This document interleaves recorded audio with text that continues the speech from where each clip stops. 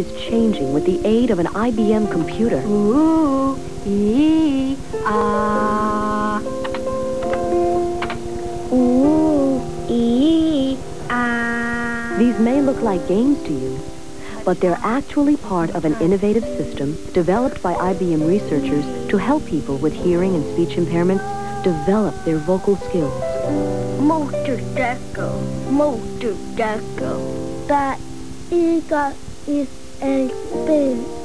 This system, called Speech Viewer, is one more example of how the people at IBM put technology to work, not only in business, but in life.